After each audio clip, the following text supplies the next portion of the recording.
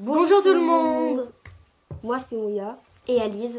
Aujourd'hui, nous allons vous présenter 4 nouveaux livres du mois de mai.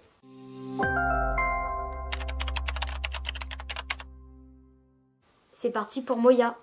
Au premier, on a Lily et Po, rencontre rendez-vous, tome 1. Ce livre parle d'une fille qui s'appelle Lily. Elle a un ami nommé Po. C'est un fantôme qui ressemble à un chat ou un chien qui voyage.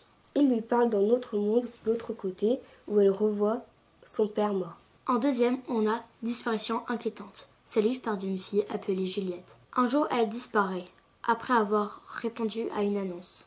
Son frère trouvait l'annonce trop belle pour être vraie, alors il part tout de suite à sa recherche. En troisième, on a le journal d'un dégonflé, tome 17, sous-titre Rock Attitude. Ce livre parle d'un garçon du nom de Greg Effley qui écrit sa vie dans un journal. Ce livre raconte son départ pour une tournée avec le groupe de rock de son frère.